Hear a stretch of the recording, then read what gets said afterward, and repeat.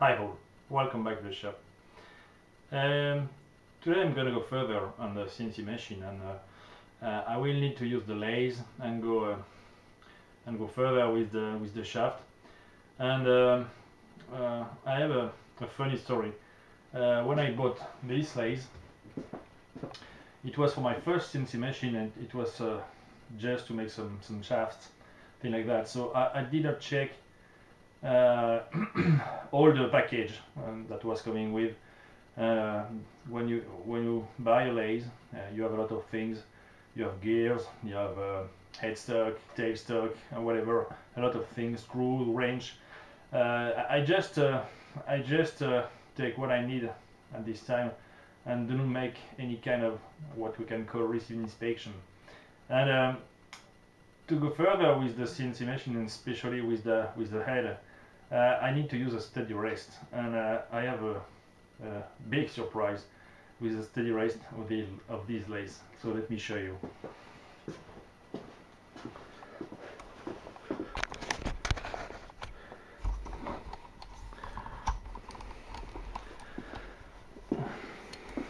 So the first thing first that you can notice on the steady rest is, is the color that you can see here but uh, you know it's not a big concern for me. So the, it's a gray color so whatever it, will work in, in anyway now the concern is the fact that uh, this steady rest is not for this lathe if you can see here and you want to mount it it go down. So there is a mistake at the delivery. But I bought this lathe a long time ago so uh, I cannot call back the supplier and say hey guys there is a delivery issue maybe three or four years ago. So the only thing that I have to do is to make a, a plate adapter between uh, the current steady rest and uh, the lathe and the ways uh, it is done here like like the tail stock. Hope you can better see here so I will take the dimension uh, underneath of this uh, of this guy here. Uh, I will also take the dimension of the of this lathe on the bench, and I will make a print and uh, create an adapter to put this one, uh, this rest here, and uh, then I, I can go further with the uh, with my project. So here it is. Uh, so when you receive something especially a machine or, or whatever uh, do not forget to check everything uh, to avoid this type of mistake. So uh, I will uh, make the measurements of all the needed dimension and then I will make a print and I will show you the the design uh, with you. And uh, then we go ahead. So see you for the, for the design. Hi all. Welcome back on my channel. Uh, I will share with you the design and uh, also some very cool uh, things that I discover uh, on FreeCAD.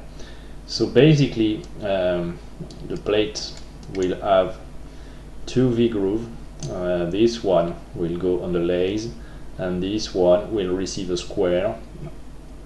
And uh, the square will provide another V groove for the, the actual steady rest. And um, this hole here is just uh, to secure the all the thing in place.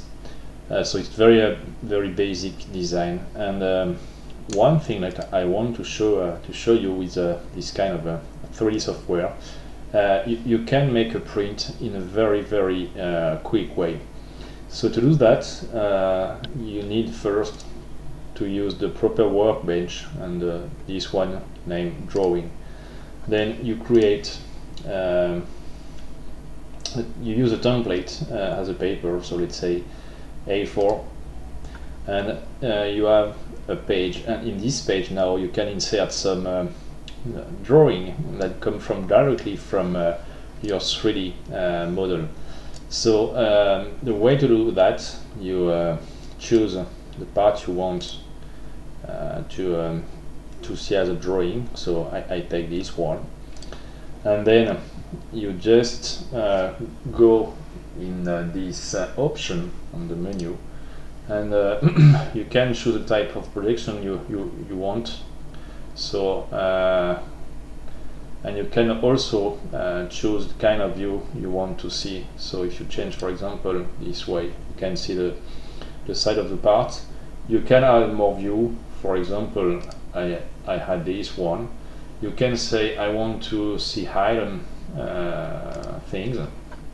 So you can see the now the holes. If I zoom on the holes, and uh, also the V groove here. And you can also um, insert a 3D view. Uh, so there is some sometimes some fine tuning regarding the regarding the parts, but uh, basically it, it, works very nice. So something very interesting. And uh, after you're okay with what to choose, um, you validate the thing, and if you go on the page, you see the different view. And uh, the next thing that you can do, so you can uh, change the position of each, of each view uh, with the, the data here and I find something very interesting um, I will show you if you use this workbench so uh, I will explain you how, to install this uh, this workbench for uh, FreeCAD and it's uh, someone that uh, developed it uh, apart. So this one allow you to make a quick and easy dimensioning.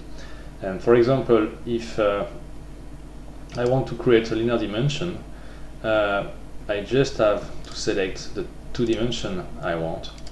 Then it, it creates me all the things automatically.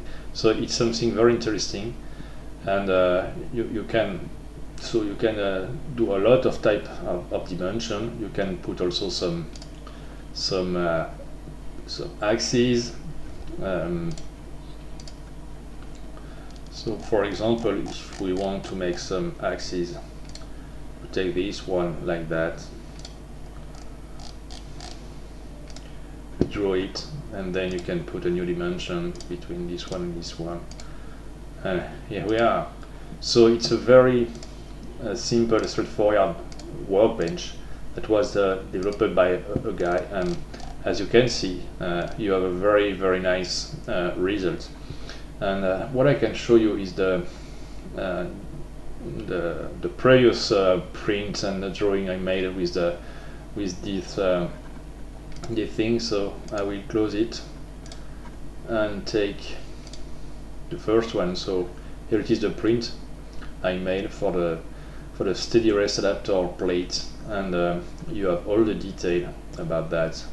So uh, to be able to mesh in a V-groove uh, you need to make a slot uh, and depending on, on the size of the V-groove you can have a bigger or, or uh, smaller slots so, um, so this option is something very cool for FreeCAD.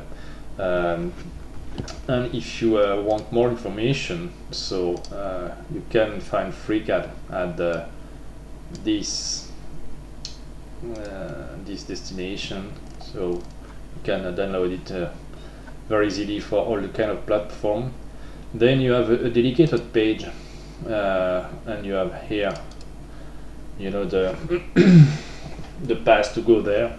And uh, there is an explanation about additional modules and related project and uh, the, the, the new module and the workbench uh, I show you regarding the dimensioning is this one. It's a drawing dimension workbench. And uh, if you click on this link uh, you will uh, arrive here. The guys who developed this this workbench is uh, called Hamish 2014 and you have also all the needed instruction to install uh, this new workbench for FreeCAD. So you can uh, install it for uh, Linux, Windows, Mac and you also have some um, very interesting and cool things about defining the defining the size of the uh, of the dimension. So that's very great tool and uh, it, it, will be interesting to share with you uh, this kind of thing. So the next step will be to um, to prepare a, stock and to start the, the machining operation. So the next video you will see some some uh, bandsaw uh, you will see some surfacing, some CNC machining and, and so on. So thank you uh, for watching. Um, if uh, if you need you know some 3D uh, application things, uh, I guess that FreeCAD um, will provide you a big help if you need to make some manufacturing thing. So thanks for watching and see you for the next episode.